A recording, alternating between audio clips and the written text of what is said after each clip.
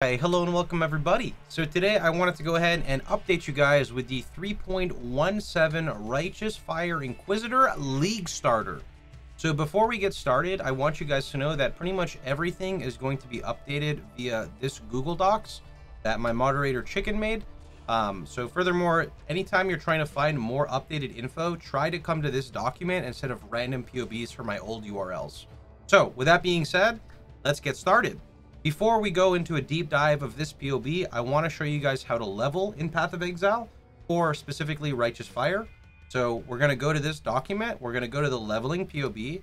We are just going to take the leveling POB. We're going to go new, import, import from website, import it, and you're done.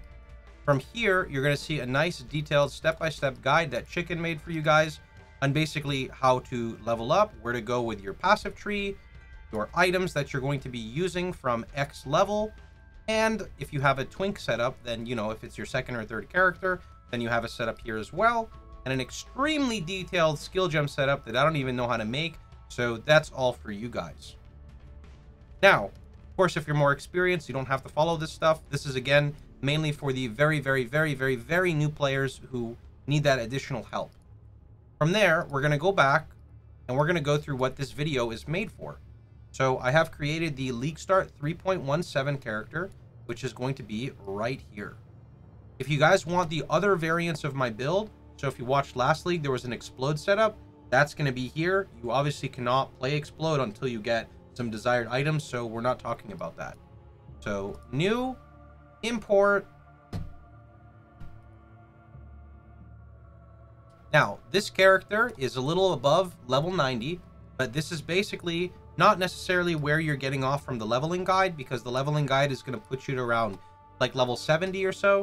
So from there, uh, it's pretty much up to you where you want to go. So a quick example is for players who are not super high level yet, you don't have to be in Marauder. You pretty much are going to uncheck all two-point jewels. So two-point jewel here, You've got a two-point jewel here. You've got another two-point jewel. You've got an entire cluster jewel that you will not be using a cluster jewel setup until you have a Master of Fire. Thanks, Balar. Appreciate the raid, homie.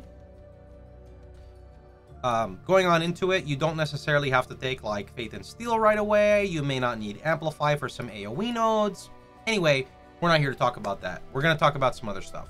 So, um, in this, I have tried to gear it to like a around 5 to 15 exalt area. I know that's not like exactly league start viable, but if you'll notice the damage, previously on Righteous Fire, you'd have much less damage. So I have tried my best to make it so for the currency you're putting in, you're still getting a very thick character, and you shouldn't feel like you have, you know, 10 to 15 minute boss fights. So this is showing your damage with, let me just confirm for you guys. This is no, you know, Vaal Righteous Fire. This is just regular Vaal Righteous Fire. All gems are simply level 20 with quality. There are no alternate gems except for Life Tap, which really doesn't matter. It's just for extra duration. There are no Awakened gems in here, so everything is standard. There are no 21 gems. Everything is just standard 20 setup. Going into the calculator configurator, the only thing I have that may not be 100% uptime when you're bossing is Cover in Ash, which is going to be from your Infernal Cry, and Is the Enemy Ignited, which is going to be from your Shield Charge Combustion. Other than that, that's it. That, that, that's it.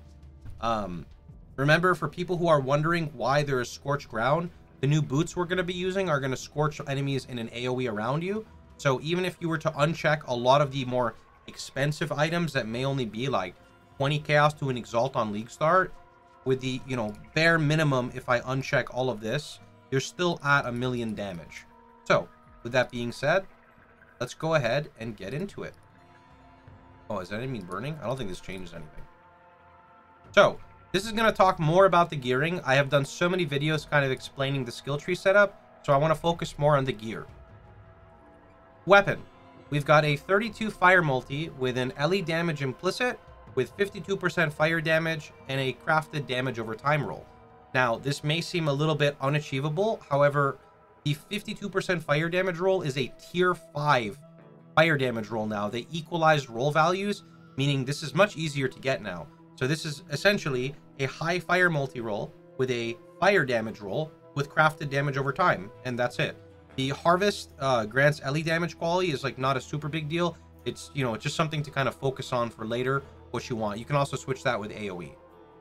Even if you have a much weaker weapon, you're still going to be able to clear content. It's not a big deal. Uh, with the introduction of the some influence modifiers being moved to regular shields, you can now straight up identify rare energy shield bases and get maximum fire res. So this is showing an example of a tier 5 fire damage roll with a life roll with max fire res, and then just crafting cold and lightning. Helmet is always going to be a pain in the ass to roll. Um, this is an Essence of Horror helmet, so this has the 30% more LE with a level 18 burn, and then just crafted AoE, and that's it. You could get this anywhere as as lucky as one Essence of Horror craft to usually it's about within 15 you do hit a burn damage roll. Some people get super lucky.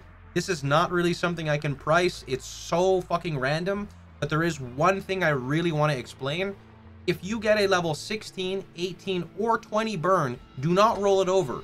A lot of people saw me with an elevated burn, and they kept wasting Essences of Horror to try to get a level 25 burn. Do not do that. If you have a level 16 support gem, it's way better than having a level 0 support gem. Significantly better. So this is definitely like where majority of your gold is going to go when you want your big damage increase. Just to go into the configurator and show, if you remove elemental focus, which is 34% more LE plus the increase, you can see the amount of damage it gives you. So you lose 241k for not having that essence of horror on. It's pretty big, right? It is definitely something you want to focus on. Okay, going over to the body armor. So with new change to influence items, I think rare body armors are going to be much more accessible. So this may look like it has a bunch of stats on it.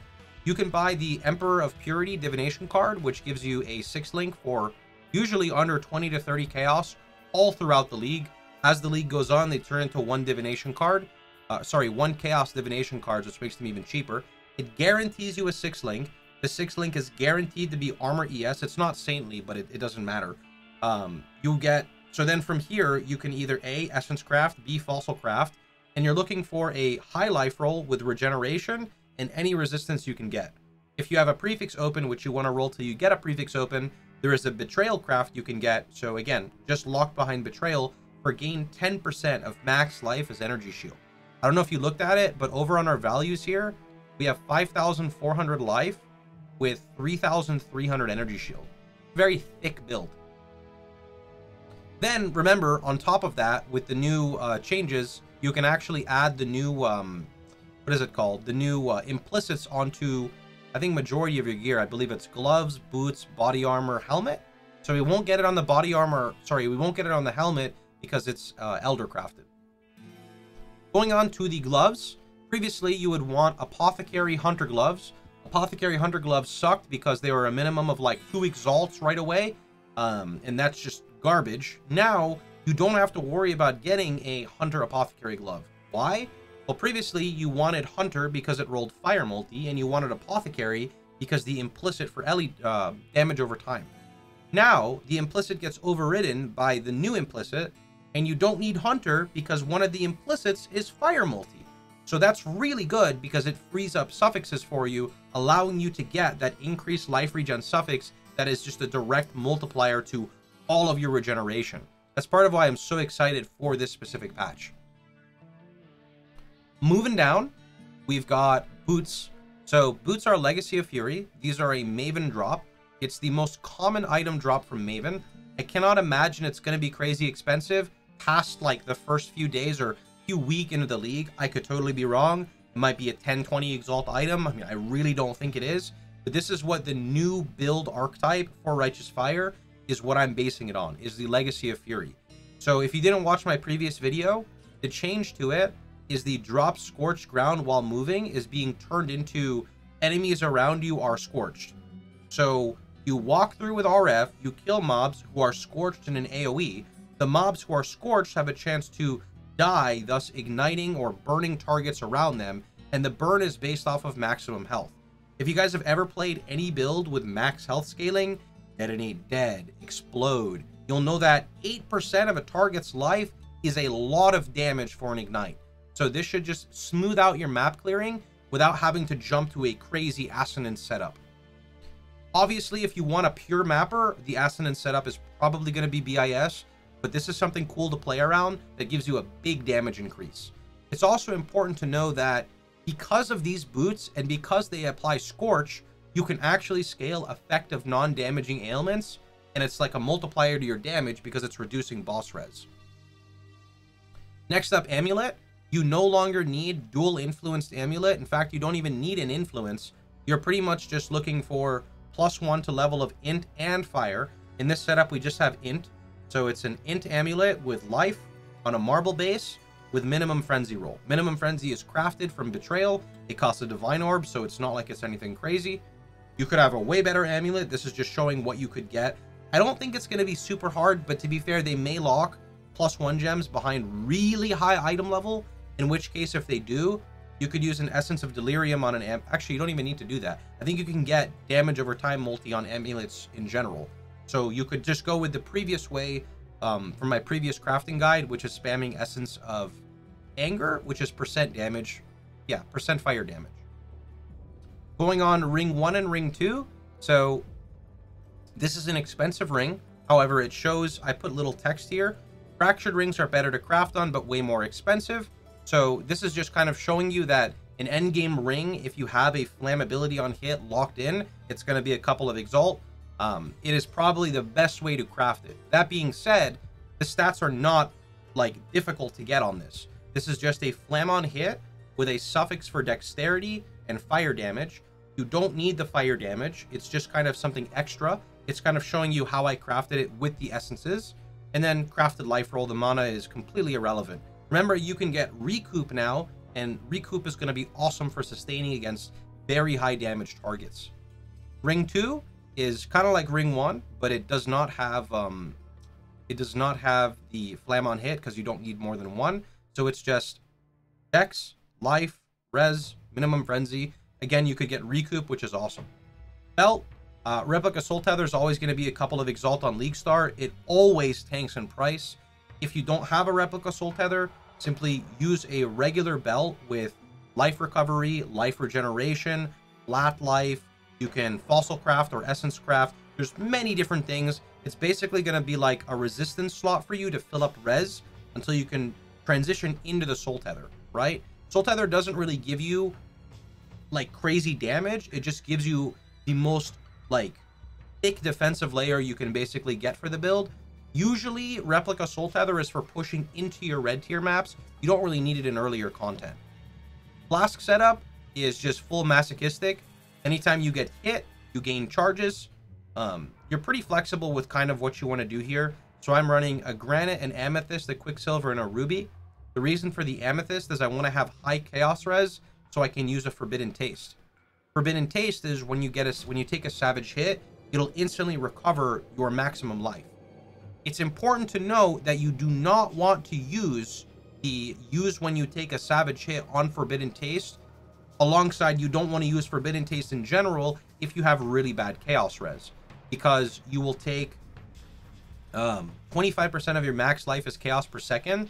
So you might end up healing yourself and then degen like 3000 hp because you're in like negative 60 chaos res. You do not want to do that. That's that's not good. This is when you have good chaos resist Moving on, I've got some jewels. Fire multi-life, fire mul or uh, burn damage life, fire multi-life. These can massively be upgraded.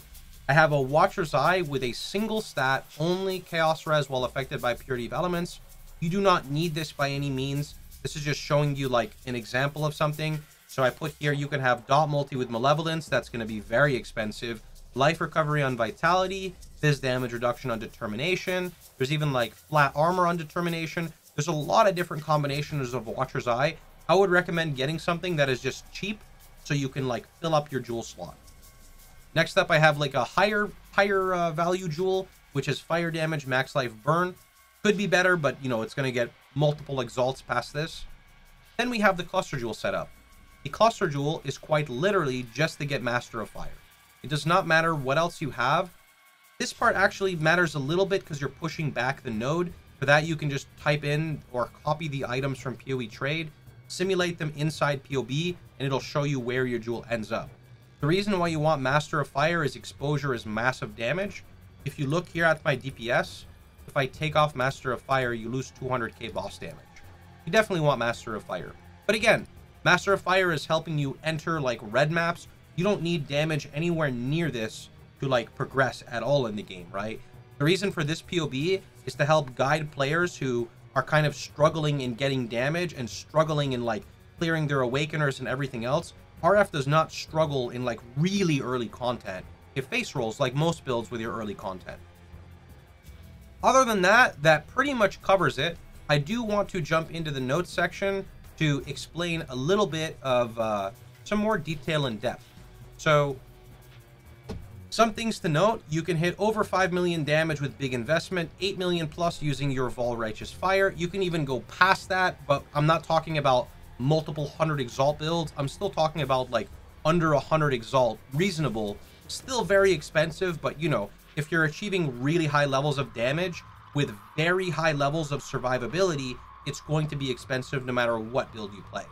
So talking a little bit about this, min-maxing, you can save one point on the tree for getting a belt enchant for reduced curse effect. So that would be removing like this node here. That gives you a point back.